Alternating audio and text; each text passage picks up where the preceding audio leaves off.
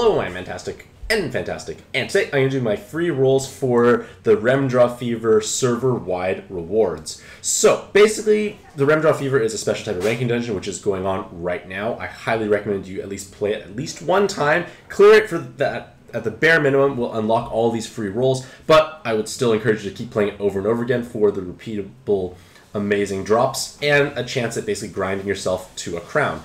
Without further ado, I want to do all of my free rolls in ascending order from what should be exciting. So, let us see what the round one reward will yield for both of my accounts.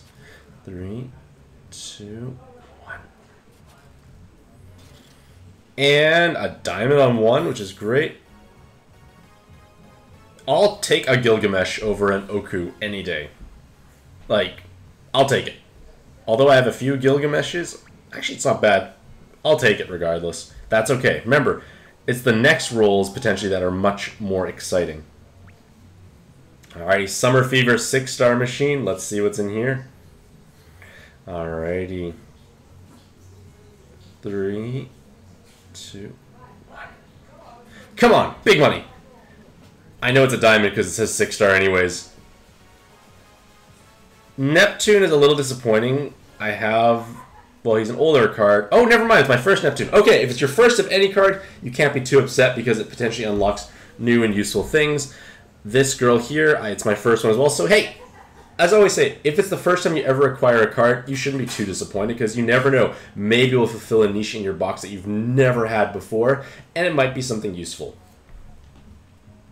Alrighty, let us go into the seven star. So just because it says seven star doesn't mean it's actually going to be a seven star base card. It could be a five star card evolved into seven, which can be a little bit disappointing. Alrighty. Come on, three, two, one. Come on, big money. Come on, give me something that's actually a higher base rarity.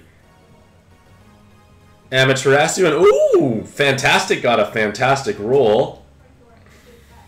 So Amaterasu has niche applications where her unevolved forms. Oh, it's my actually my really I've never had one before. No way. So she's an on-demand full heal, which is great for certain places. Like you may need a 100% heal if you're playing Zeus Verse for certain things, and this can be your solution. So this is actually good. I can't be too upset. Again, if it's the first time you've ever got a certain card, it possibly fulfills new niches, and Amaterasu will actually fulfill niches for me. On the other hand, Fantastic got Eshimali, and even though it is a dupe, it could be just trade fodder in the future. Maybe I want to run more at once. Who knows? A great roll overall. Alrighty, and now the final and most exciting roll. Oh, whoops. I rolled in the wrong order. Fantastic rolled in the wrong order. I scrolled wrong. Okay, Come on, fan. Okay, that was a little underwhelming I thought I still had another guaranteed six-star Godfest exclusive. Okay, wasn't as amazing. Okay, it's okay. I went. I for some I scrolled and missed it for some reason, but hey, it is all right. Now, this is the moment we're waiting for. Round four is the good stuff because round four guarantees we get at least a six-star Godfest exclusive. So at the very worst, you get something good. And again, it could just be trade fodder. But again, six star Godfest exclusives are good.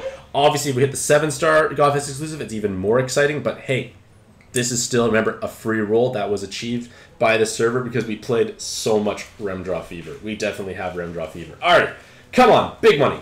Give me a sweet seven star base card. That would be amazing. Or just something I don't have. If it's something I don't have, I'll still be happy, to be honest. Come on, big money. I have a few Blue Sonias, but hey, again, remember, Blue Sonias are actually getting a buff very soon.